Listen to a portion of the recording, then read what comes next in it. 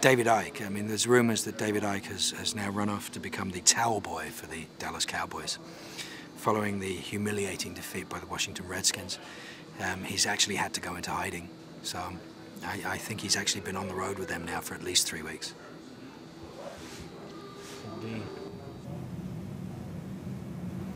Yeah. Yeah. Um, well, I'm being David today. Um, we haven't seen David now for about seven months. We've gone through the worrying uh, period. Now we just kind of, I think we're in denial. Um, every day I man the phones. Uh, I've got a slot from like 10 till 2. Jamie comes in in the morning to do the 7 till 10, and Tricia and Grace are on the night slot in the evening, like 2 till 4 in the morning. I don't know, I think he's anorexic, schizoid, something. So uh, he's locked up in an asylum in LA, and he, he tries to write things which aren't very interesting or good. Uh, but it's best for him now to stay with his uh, his arms wrapped firmly around his back and tied up while he refuses to ingest anything through his mouth. I also heard that he's withering away in some cave, um, you know, castaway style, trying to get all skinny on some crazy new diet drug. Probably. David, get out of LA. It is screwing with your head. Oh, this is Edward James Olmos. No, production is going great. Thank you very much. Yeah, you can contact me on this number. Like I was saying, I man the phones uh, during the morning. Jamie did the slot before me. Tricia and Grace are doing the, uh, the evening slot. And that way, uh, we can keep under wraps the fact that, uh, yeah, very unusual that something like David should be gone so long. I, I don't know what it was exactly that David did when he was up here on set, but they seemed to do just fine without him doing it. Sorry, Eick? Executive producer. Executive producer. Eick. Eick.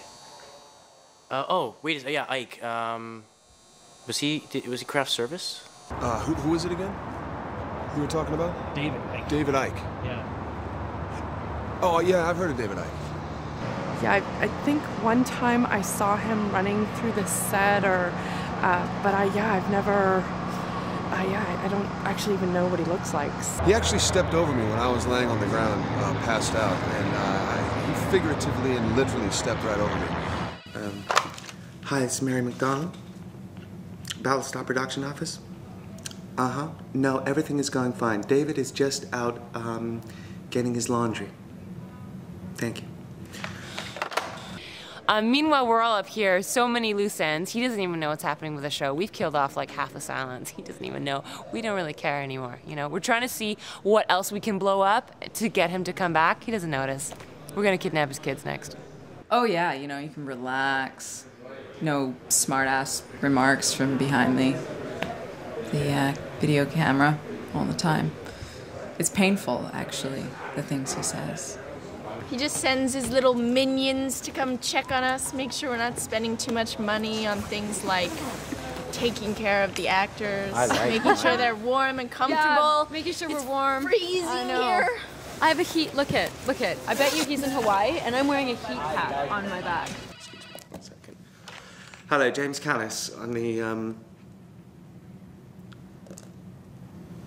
Who is this? Well, I don't know. I just wish I would call.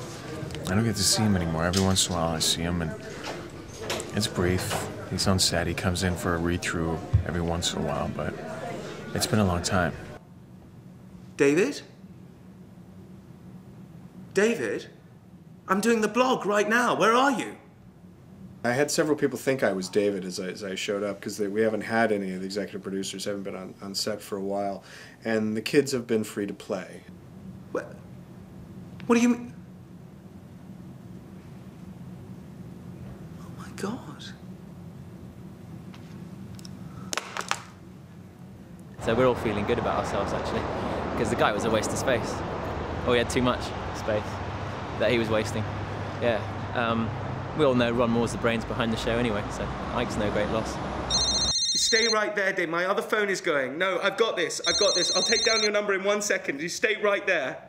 I can't believe it. I can't believe it. I can't tell you how amazing it is to speak to you.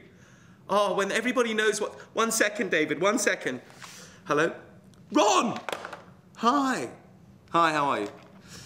Yet no word from David. No. God only knows. I was thinking about maybe. Um,